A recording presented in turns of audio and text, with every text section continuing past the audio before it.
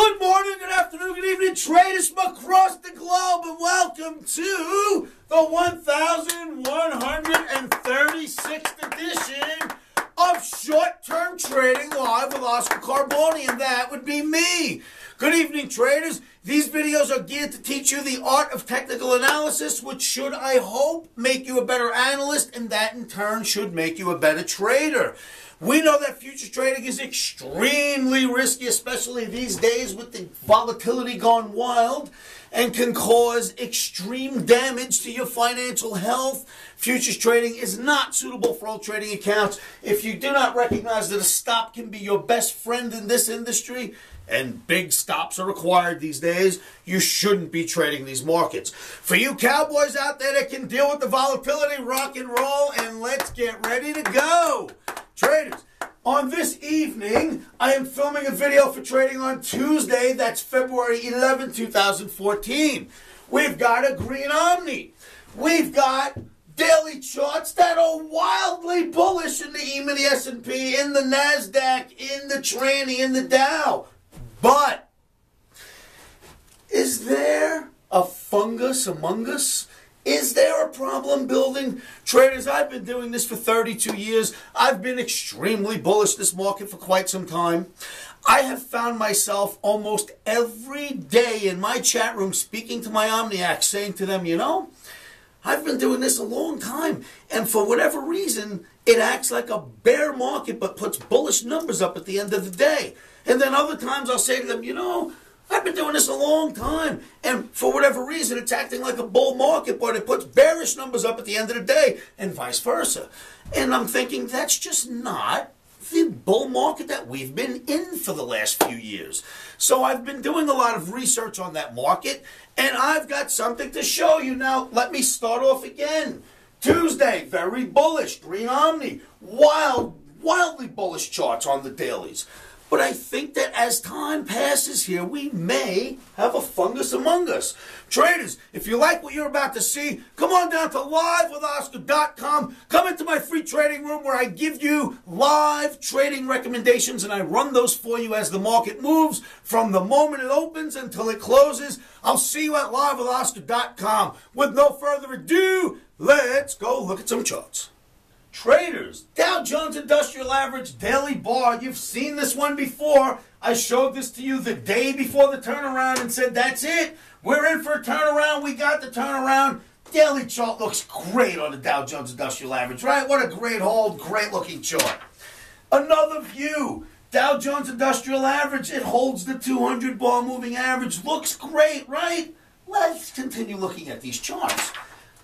E-mini S&P, what more could you ask for? Holds OTAPMA, holds OTAPMA, holds OTAPMA, gets back above the red line. What more could you ask for, right? These are wildly bullish looking charts for trading on Tuesday. And then there's the NASDAQ. Look at how bullish. Comes down to OTAPMA, this red line holds, comes back, red line, OTAPMA holds. If you look further, you'll find that it held it back there even further really bullish looking, right? How could you not love this market? And we continue. We go, okay, look at the transportation average. It got above this major support line, what was resistance. Then it becomes support, bounces off, holds OTAPMA, holds OTAPMA, holds OTAPMA, holds OTAPMA, and holds OTAPMA. That's the Omni Trading Academy's proprietary moving average. We call that OTAPMA, right? So, how could you not love these markets? I'm in love with them. How could you not be? But I'm a guy that likes to do his homework completely. And then I started to look around, and this is tonight's masterpiece chart. This is something that you should pay attention to. This is a good lesson from Uncle Oscar, so pay attention. You ready? Here's how market structure works. A good bull market, you rally, you pull back, but you never go as low as the previous pullback. So we rally, we pull back. See how this low, this line is above it. We rally, we pull back, but the pullback doesn't reach this one. We rally to stage four, right? So we rally up from three to four, a little pullback, but it never goes back to three. We rally up to stage five, a pullback, but it never goes as low as four. A little tight, but doesn't go as low as four. Good bull market. We rally up again, we pull back. Five, six, we keep rallying, right? The previous low, higher, higher, higher, higher. the same but didn't go lower. Higher, boom, number eight. Problem. We just took out the previous dip. You're not supposed to take out the previous dip in a strong, healthy market. It's okay to even get even like that. You're not supposed to take it out. That, my friends, is a problem. Look at each time. Pull back okay. You never broke the line before it. Never broke, never broke, never broke, never broke. Boom, you broke the line before it and went down. I don't like that. Next, look at the E mini S&P, the very same charts I showed you that look wildly bullish. Look at them now. Here's a shoulder, here's a head. I say we're coming up to do another rounded shoulder. The only thing that would convince me that's not going to happen next, that we're not just going to come up here and fill this in and start a big dump, is if we take out these highs and relatively quickly. If we do not take out these highs very quickly, this is what's coming next. I have shown this to you many times before. I smell a rat. Let's see, I hope I'm wrong. Then there's the NASDAQ. That chart looked fantastic a few moments ago. Look at it again. Shoulder, head, shoulder developing. You are right now almost at the exact high of the previous shoulder. I don't think it goes much higher. I think it starts to develop a downward shoulder here. But what do I know, right? I'm only showing you what I think is going to come next on the chart. I'm these bullish for Tuesday. It might be bullish for Wednesday. It might be bullish for Thursday. We could be here by Friday. All of this is negated and it's meaningless, right? So I don't know that this is going to work. I am showing you that you better start to pay attention to something. I've been doing this for 32 years. This is not my first day on the job. Then there's the Russell. There's nothing good I can show you about the Russell. It's got a bear flag on the daily. It's underneath OTAPMA. It broke OTAPMA. It never got back. And here's the thing the Russell literally has been the leader of our move for the last six months. The Russell and the DAX have been leading the U.S. indices for the past few months. The Russell is not showing me anything impressive on the daily. Then we go out to a weekly on the Russell. And I'll tell you what, even less impressive. Look what you did here. You held, you held, you held, you held, but you broke. Now we're underneath it. Long, long term trend line. I am not saying that the top of the market is in by any means. I am saying let's all pay attention to the possibility of a pullback here, a big one. Then there's the daily DAX. Look, on the daily, I've got nothing good to show you here. We broke this major channel. We're under it still. At this moment, I have nothing good to show you. That could change by tomorrow, but right now, nothing good to show you. In the weekly DAX, we were in this really nice channel. We were also in this really nice channel for a long, long time. We morphed up into this channel. Well, since then, we've broken out of that channel, and I think this is your target. If the DAX and the Russell have been our leaders, and the both of those look more bearish than anything else I've shown you, we need to pay attention. Now, if the market is really bullish and we are going to continue to blast off, why is gold getting bullish? It's not supposed to. This is what's supposed to happen if the ES stays bullish. Not this. We've been in this channel, it held down here, it held up here. It held down here, it held down here, it held up here. We messed around for a while, but we've gotten above the channel. That's on gold's daily. Then you spread this thing out a little bit. You step out to a weekly in gold. And look at this. This goes way, way back. Now, granted, I don't think gold is going into a new bull market. I think it's got a little bit of a rally coming. Because this shows you that gold is over, right? It made a big plateau. Then it came down and broke the 200 bar moving average and continued on down. That's a broken bull market that we knew. It stayed inside of this channel for a long, long time. I've been showing you this chart for months on end. It stayed inside this channel every single time it hit the black channel. It was held in check every time. Not this time. Look, out, it broke out. So gold is getting bullish. Why would gold be getting bullish if the S&P is going to continue to go up? It shouldn't, to be honest. Then there's the dollar index. Why is gold getting bullish? Because the dollar index broke OTAPMA. It's now built the right shoulder of a head and shoulders. And if you ask me, this is a big flag.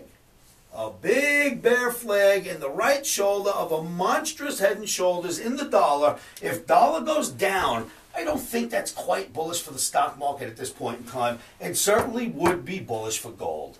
Traders, pull your own charts, do your own homework. I hope you like what you just seen. I do happen to have one open seat for my OmniCamp. It's a seat I haven't offered really to anybody yet. If you would like to come out and join me at the end of this month and study these charts with me, it's a four day training session. Come on down to livewithoscar.com and let me know you'd like to take that final seat.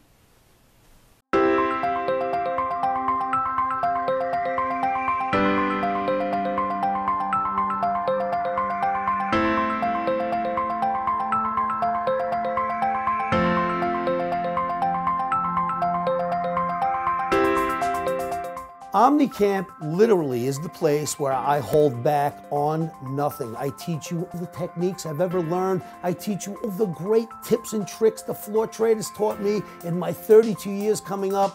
OmniCamp is your chance to come to Las Vegas and study with me, Oscar Carboni, for four straight days. And I want to make sure you leave with the knowledge and confidence that you can carry out these techniques yourself. If you feel ready, if you feel like you can come on down to Vegas and study with me for four days, come on down to livewithoscar.com and simply click the OmniCamp banner and fill out the application.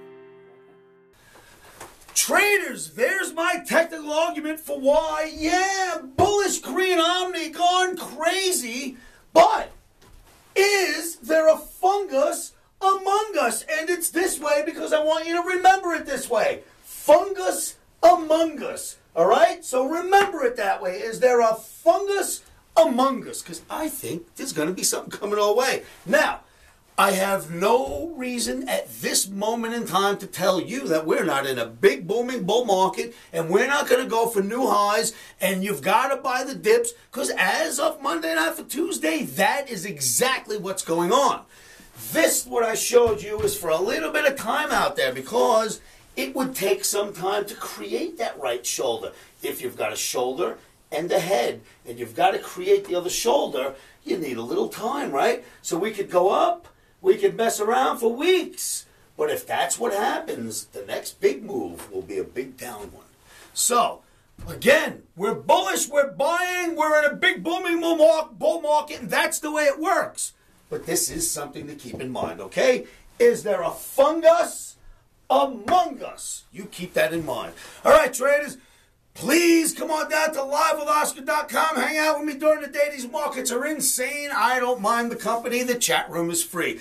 I will see you at livewithoscar.com. Remember, keep your emotions ahead of trading. One of the best things you can do to help yourselves with that is say this to yourselves every morning, every afternoon, every evening, and you know what that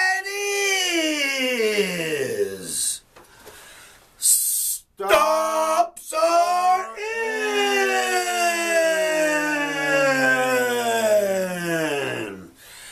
Emotions